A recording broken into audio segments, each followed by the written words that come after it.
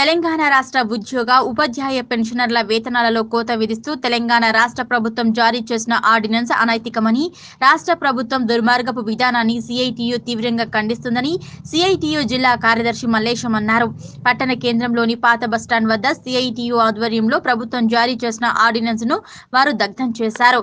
దేశంలో ఏ రాష్ట్రంలో లేని విధంగా కేవలం వేతనంపై ఆధారపడి జీవించే వేతనపు జీవుల ఉసురు పోసుకునే విధంగా అకస్మాత్తుగా ఆర్డినెన్స్ జారీ చేయడం సరైంది కాదన్నారు.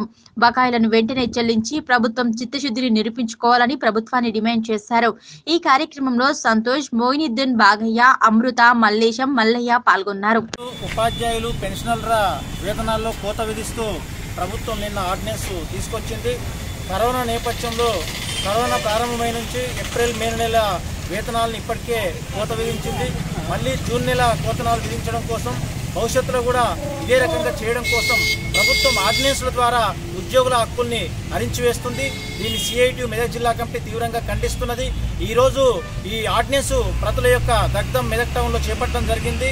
తెలంగాణ రాష్ట్ర వ్యాప్తంగా కూడా ఈ నిరసన కార్యక్రమాలు చేపడుతున్నాం.